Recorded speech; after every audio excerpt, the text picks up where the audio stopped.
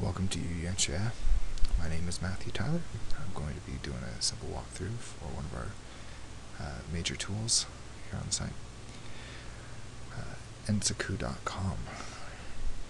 First thing we need to do is check and make sure that you can add Chinese text by going to the Start menu, Control Panel, go to Clock, Language, and Region for Change Keyboard or other input methods. Once you have this, you're going to have the option for changing keyboards. Click it. You'll see that I've already got here the uh, Chinese keyboard added.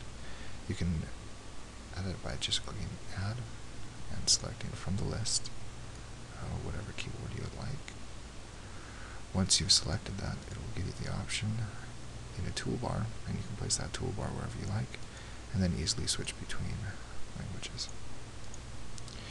If you're unable to get to that point, keep in mind there is also this feature which allows you to handwrite characters. For example,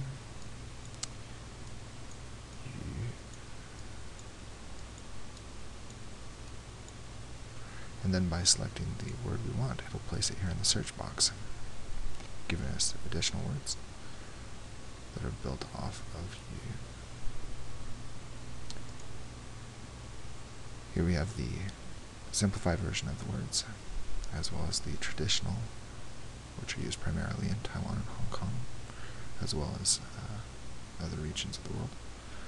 We'll be focusing mostly on the simplified and the stroke order for each of these characters. For example, if we were to come down to the bottom of the page, you'll see a breakdown, uh, which they refer to as word decomposition. When we refer to word decomposition, we'll actually take it a step further, meaning the radicals will show in the, each individual word.